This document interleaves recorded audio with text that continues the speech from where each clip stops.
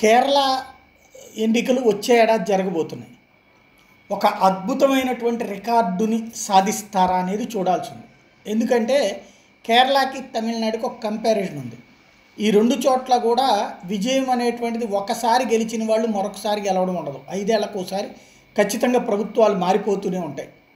అసలే ఈ దఫా పినరై విజయన్ ఈ బంగారపు కుంభకోణం వ్యవహారం వెలుగులోకి వచ్చాక ఇబ్బంది పడుతున్నారు అనుకుంటున్నటువంటి సందర్భంలో ఏడాది ముందు జరిగినటువంటి ఎన్నికలలో కీలక పరిణామాలే చోటు చేసుకున్నాయి. అది ఏకంగా ఎల్డీఎఫ్ఏ విజయం సాధించేటువంటి దిశగా ఉండడం. అంటే భారీ విజయం సాధించేటువంటి దిశగా ఉండడం. కా కాంగ్రెస్ నేతృత్వంలోని ఫ్రంట్ కంటే కూడా భారీ విజయాల దిశగా సాగుతూ ఉండటం గతంతో పోల్చుకుంటే ఓ ముప్పై నలభై సీట్లు తగ్గడం తప్పించి టోటల్గా గ్రామీణ ప్రాంతాల్లో భారీగా పట్టు అలాగే కంటిన్యూ అయింది. అర్బన్ ప్రాంతాల్లో మాత్రమే అటు కమ్యూనిస్టుల్ని నిలబెట్టగలిగారు. అలాగే ఇతరత్ర అంశాలు కూడా కొంతమేర ప్రభావం చూపెట్టినటువంటి పరిస్థితి.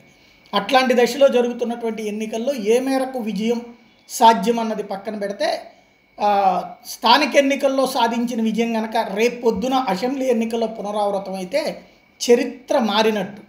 తమిళనాడులో జయలలిత వరుసగా రెండోసారి గెలుపొందినటువంటి చరిత్ర ఎట్లయిదో అట్లా కేరళలో అవుతుంది. మరి కమ్యూనిస్టులు కొత్త చరిత్ర లిఖిస్తారా?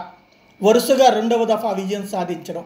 ఇక్కడ భారతీయ జనతా పార్టీ నేతృత్వంలో ఎన్డీఏ చీల్చినటువంటి ఓట్లు కాంగ్రెస్వి అలాగే కమ్యూనిస్టులవి. ఎక్కువగా కాంగ్రెస్ది చీల్చిందా ఏంటన్నటువంటిది రానున్న రోజుల్లో తేలాల్సింది బట్ కరెక్ట్గా ఏడాది ముందు జరుగుతున్నటువంటి స్థానిక ఎన్నికల్లో భారీ విజయం సాధించడం అనేటువంటిది కమ్యూనిస్టులకి పూర్తిగా ధైర్యాన్ని మనోధైర్యాన్ని ఇచ్చినటువంటి పరిస్థితి ఏం జరుగుతుందో చూడాలి.